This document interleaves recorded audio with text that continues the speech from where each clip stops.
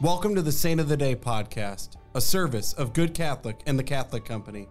Join us each day as we share the story of a unique saint in three minutes or less. Today's saint is Saint Lawrence of Brindisi. Arguably one of the least known doctors of the Church, Lawrence is no less remarkable than the rest. He was born in Brindisi, Kingdom of Naples, to a family of merchants. The Conventuals of Brindisi were entrusted with his education.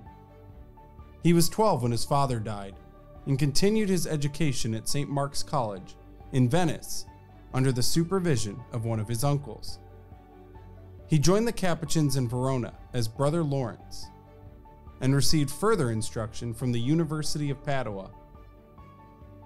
An accomplished linguist, in addition to his native Italian, Lawrence could read and speak Latin, Hebrew, Greek, German, Bohemian, Spanish, and French, all fluently. Lawrence was ordained a priest at the age of 23. At the age of 31, he was elected superior of the Capuchin Franciscan Providence of Tuscany. Pope Clement VIII assigned him the task of preaching to the Jews in the city. His knowledge of the Hebrew language was of great help in this regard. Beginning in 1599, Lawrence established Capuchin monasteries in modern Germany and Austria, furthering the Counter Reformation and bringing many Protestants back to the Catholic faith. He also founded friaries in Vienna, Prague, and Graz. In 1602, he was elected Vicar General of the Capuchin Friars, at the time the highest office in the order. He was elected again in 1605, but refused the office. Until his death, he was the best advisor of his successors.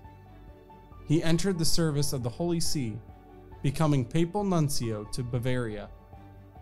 After serving as nuncio to Spain, he retired to a monastery in 1618. He was recalled as a special envoy to the King of Spain regarding the actions of the Viceroy of Naples in 1619, and after finishing his mission, died on his 60th birthday in Lisbon. He was entombed at the Poor Clares Convent of the Annunciation in Spain. I invite you today to spend some time reflecting on the many gifts that God has given you. St. Lawrence of Brindisi, pray for us. Thank you for tuning in. This is a Good Catholic podcast. If you like what you heard, check us out at goodcatholic.com and make sure to subscribe.